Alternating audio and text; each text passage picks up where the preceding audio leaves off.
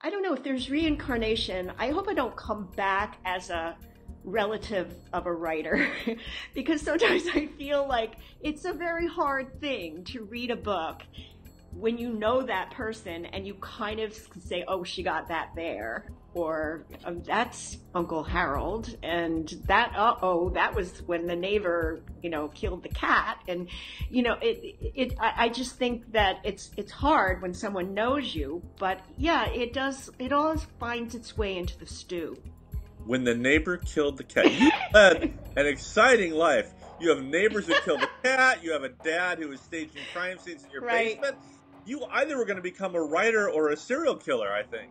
I had an agent who once said, well, if Jane wrote Mary Poppins, Mary would kill the children at the end. so, so, I don't know. I I think you just described your next book. I think so.